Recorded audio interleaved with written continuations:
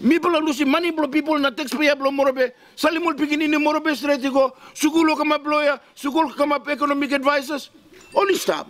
Why governor go kisimon this little consultant to come? These consultants are not part of our MITI program. They did not know our hearts. They don't know our history.